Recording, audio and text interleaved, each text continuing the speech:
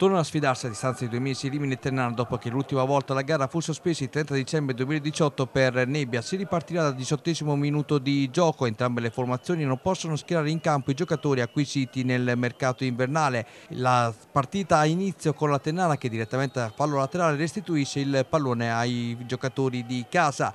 Il primo acuto arriva per il Rimini direttamente da calcio piazzato con Roberto Candido che chiama all'intervento i due tempi l'attento Iannarilli. La Ternana replica tre minuti più tardi, Bergamelli lancia in profondità Pobega, il quale appoggia il pallone in direzione di vantaggio. Il numero 10 segue un velo per l'inserimento in Mari Lungo che apre a sua volta per il numero 7 Furlan, il cui tentativo viene sventato in corner da Roberto Candido. Primo piano per il centrocampista in maglia numero 7 della Ternana.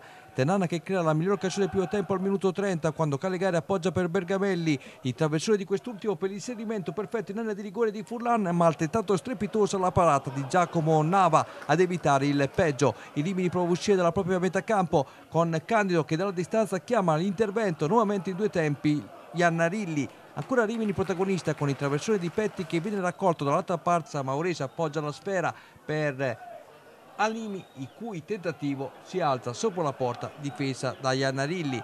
Termina qui il primo tempo sullo 0-0 nella ripresa sessantesimo il Rimini prova a rendersi pericoloso e lo fa con Candido che appoggia per eh, Alessio Petti, terzino e mette questo traversone al centro dell'area di rigore con Iannarilli chiamato all'intervento a rifugiarsi in calcio d'angolo.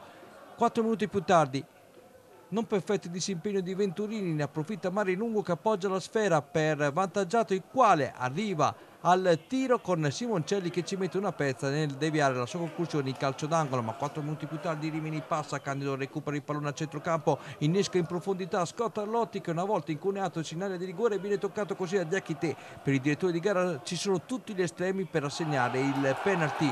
Il replay ci mostra appunto l'ottimo inserimento di Scott Arlotti con Diachite che tocca nettamente il giocatore in maglia numero 17 dagli 11 metri Roberto Candido non sbaglia l'appuntamento con il gol raccogliendo l'abbraccio dei compagni in campo ma anche di tutta la panchina. Per Candido si tratta del secondo gol di stagione arrivato sempre dagli 11 metri. Il replay ci mostra appunto il rigore trasformato da numero 27 in maglia biancorossa che spiazza il portiere Iannarilli il Rimini prova a mettere al sicuro il match con questa punizione che in verità è un appoggio per la Limi, cui tentativo termina fuori dallo specchio della porta difesa da Iannarilli. La Tenana invece al primo, ovvero a fondo, passa. Corner, vantaggiato recupera il pallone, lo alza a campanile per la testa di Diachite, perfetto a trovare l'angolino vincente alla destra dalla porta difesa da Nava e per Diachite un abbraccio che sa di liberazione dopo aver provocato il rigore dell'1-0 per il Rimini. Il replay ci mostra appunto questo pallone alzato all'ex turno avvantaggiato per il colpo di testa di Achite che si infila